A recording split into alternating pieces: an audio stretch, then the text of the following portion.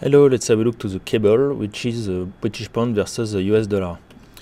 Indeed, the pair is shaping a continuation triangle on a intraday basis, we can see here, and remains also capped by the declining 50 period moving average here in blue.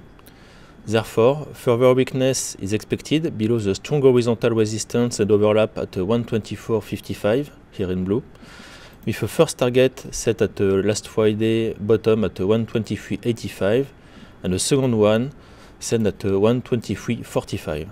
Thank you for watching this video, have a good day.